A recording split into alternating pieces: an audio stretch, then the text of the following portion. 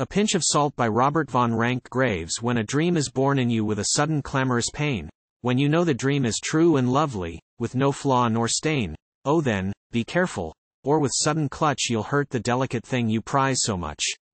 Dreams are like a bird that mocks, flirting the feathers of his tail.